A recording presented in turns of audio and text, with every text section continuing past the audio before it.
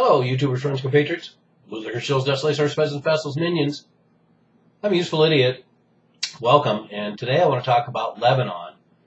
First of all, I want to mention the fact that you're getting a lot of bonus videos this weekend because it's raining here in Seattle, which I love. and the other thing I want to point out is this is a, a send from my friend Bert Powers, a compatriot who also has a YouTube channel, and I'm sure most of my uh, regulars are familiar with his work. But he sent me this article, and I want to talk about it now. Uh, it's kind of a big deal. Uh, U.S.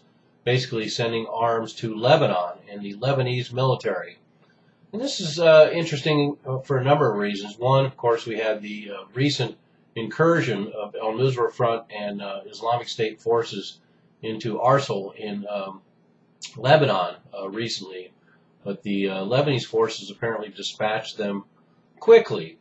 But this also comes in the the uh, aftermath of uh, two very large um, uh, gifts from Saudi Arabia to the Lebanese military, including I think something like three billion dollars. I'll attach my previous video about that uh, below. So we see this infusion into the Lebanese army, and um, it's a pretty substantial amount right off the bat, $20 million uh, that's uh, starting to be delivered now. and includes grenade launchers, assault rifles, anti-tank missiles, and mortars. And uh, we actually have some numbers, 480 anti-tank guided missiles and 1,500 M16A4 rifles and, quote, many, unquote, mortars and uh, apparently more ammunition and heavy weaponry on the way. So now we have the U.S. Uh, once again flooding the Middle East uh, with weapons. So there's a number of uh, problems with this. Uh, first of all, we have Hezbollah is an integral part of Lebanon, both its political system and its military. Even though Hezbollah in itself is an entity, a lot of Hezbollah sympathizers are, are are part of the government and part of the military.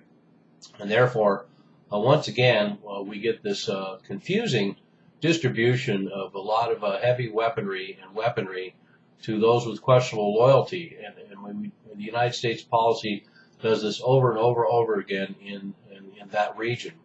And I'm not saying that it perhaps might be a legit, legitimate case uh, for giving weapons to the Lebanese army to defend themselves and uh, the U.S. is obviously grasping at everyone they can.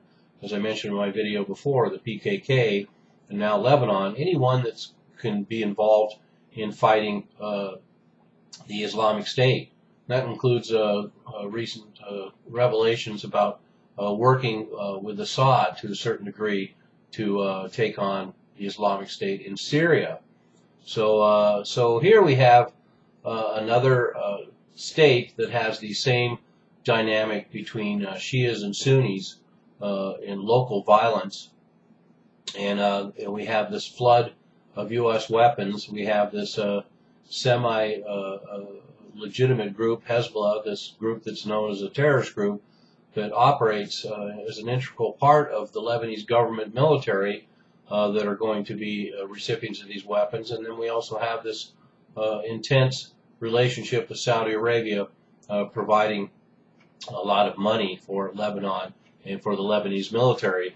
And interestingly, the uh, press statement uh, uh, from the United States was the weaponry and ordnance was, quote, paid for by the American people, unquote. So it looks as though this $20 million in arms to Lebanon is a gift. And um, I was curious if there was any connection between the money that Saudi Arabia is giving to them, and whether it was uh, turn, being uh, turned around and spent on the United States for weapons. But apparently, this is a gift. So once again, a very complicated uh, scenario in the Middle East. The U.S.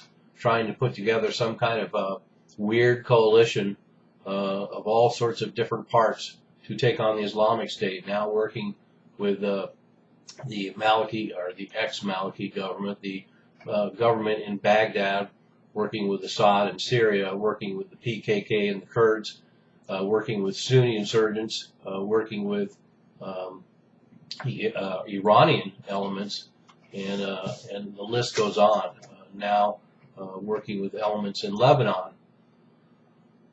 Okay, I'm a useful idiot. Don't you be one too.